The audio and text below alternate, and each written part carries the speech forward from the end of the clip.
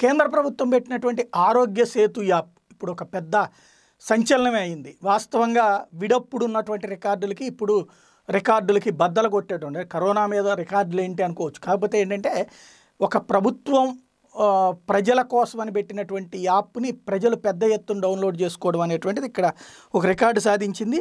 గత పదమూడు రోజుల్లో యాభై మిలియన్లు మంది దీన్ని యూజ్ చేస్తున్నారు డౌన్లోడ్ చేసుకున్నారు అన్నటువంటిది అయితే దీన్ని ఓవరాల్ లెక్కలు చూసుకున్నప్పుడు ఇంతమంది టెలిఫోన్లు వాడడానికి డెబ్బై ఐదేళ్ళు పట్టింది రేడియో యాభై మిలియన్ల మంది వాడడానికి ప ముప్పై ఎనిమిదేళ్ళు పట్టింది టీవీ యాభై మిలియన్ల మంది వాడటానికి పంతొమ్మిదేళ్ళు పట్టింది ఇంటర్నెట్ అంతమంది వాడటానికి నాలుగేళ్ళు పట్టింది ఫేస్బుక్ యాభై మిలియన్లు వాడటానికి పంతొమ్మిది సంవత్సరాలు పంతొమ్మిది నెలలు పట్టింది అలాగే ఆరోగ్య సేతు వచ్చాడు. పదమూడు రోజుల్లో ఇంతమంది డౌన్లోడ్ చేసుకున్నారన్నది ఇప్పుడు ఇలాంటి వాటి మీద సర్వే చేసేటువంటి సంస్థల లెక్కల ద్వారా తెలుస్తుంది. దీంతో ఇది ఒక కొత్త రికార్డ్ అయింది. అయితే ఇక్కడ దీంట్లో ఎంతవరకు ప్రయోజనం ఉంది ఎంతవరకు నష్టం ఉందంటే ప్రయోజనం అయితే నేను ఇంతకుముందే చెప్పినట్టు మనకెంత రిస్క్ ఉందనేది ఒకటి ఐడెంటిఫై చేస్తే అట్లాగే మా ఇలాంటి యాప్ డౌన్లోడ్ చేసుకున్నటువంటి వాళ్ళు వాళ్ళల్లో ఎవరైనా కనుక రిస్క్ పేషెంట్ రిస్క్ పర్సన్ ఉంటే అంటే పేషెంటే కనుక రిస్క్ పర్సన్ ఉంటే కనుక వాళ్ళు సమీపంలోకి వచ్చినప్పుడు అలర్ట్ చేయడం అనేటువంటిది ఈ యాప్కి సంబంధించినటువంటి ముఖ్యమైన ఉద్దేశం.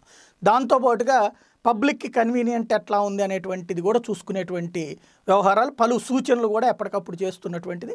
దీని ప్రయోజనం టోటల్గా అంటే భారీ ప్రయోజనం అంటే ఇక్కడ ఇలాంటి సందర్భంలో టెక్నాలజీ అనేది అందుబాటులో ఉండి వాడుకోవడం అన్నటువంటిది ఇక్కడ ముఖ్యమైనది ఆ సందర్భం ఆ యాంగిల్లో మాత్రం ఈ యాభై మిలియన్లు వినియోగించుకోవడానికి సిద్ధపడటం అంటే ఆటోమేటిక్గా అది ఒకటి మోడీ చెప్పడం వల్ల కావచ్చు కేంద్ర ప్రభుత్వం చెప్పడం వల్ల కావచ్చు ఇంకోవైపున సోషల్ మీడియాలో ప్రొజెక్షన్ వల్ల కావచ్చు ఈ మధ్యకాలంలో నెట్ మీద మనకు అవగాహనలు ఎక్కువ కావడం ప్రతి ఒక్కళ్ళు సెల్ ఫోన్లు వినియోగిస్తున్నటువంటి ఆండ్రాయిడ్ ఫోన్లు వాడుతున్నటువంటి సందర్భం కావచ్చు.